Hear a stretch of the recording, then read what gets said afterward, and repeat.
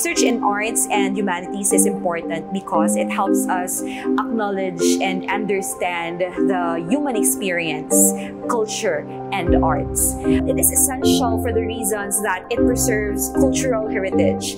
The research helps us document history, arts, and literature, which can help preserve um, those things for the future generation. People should know our culture and people should know their roots. Uh, the process for making this production and for making this dance musicals uh, is very rigid.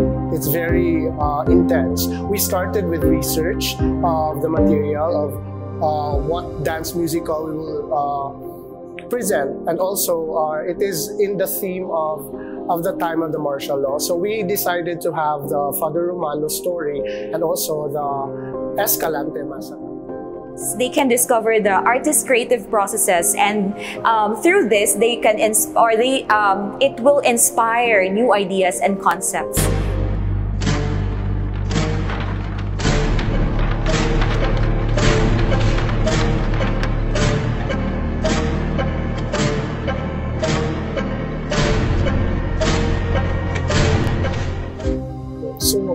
Um, right after the research process, uh, we brainstorm on the sets, designs, uh, stage design, and also the, the process in creating the dance.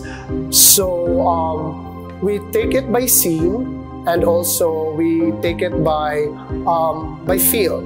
Uh, what the students would really like to show and to showcase on their dance musical. So this is definitely a student effort on creating the musical from stage management, from uh, production managing, uh, choreography, and also uh, creating the design, the stage design and the production design. So what we do as mentors is just to guide them and to create the path for them in order for them to have that uh, sense of process and that sense of direction.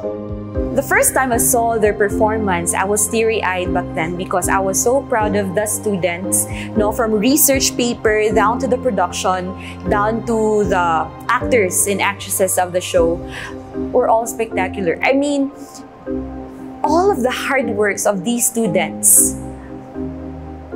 are worth it. Worth it. It's it's worth it. So I felt so happy and proud of my AD students.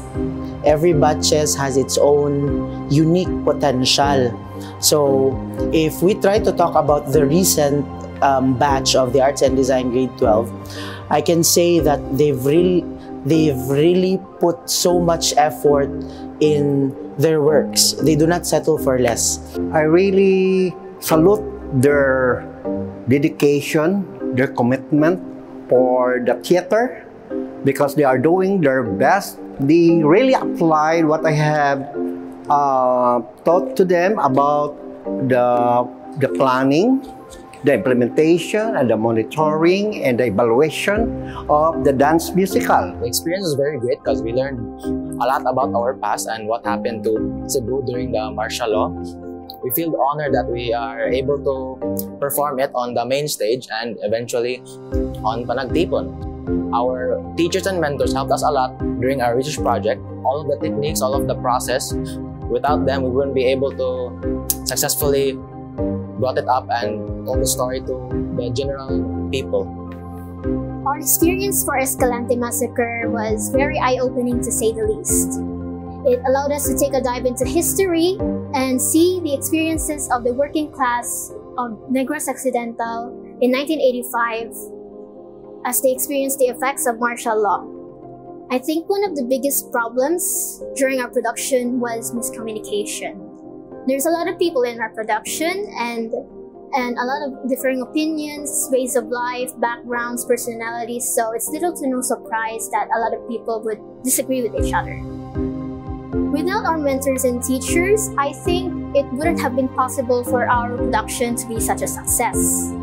They were there for every step of the way, in a way, they were our lighthouse, guiding, guiding us to the shore when where the way ahead was dark. Upon watching their dance musical, it's actually very um, one of the very nice performances sa grade 12 dance musicals. Kay if you actually watched their dance musicals, maka goosebumps yun.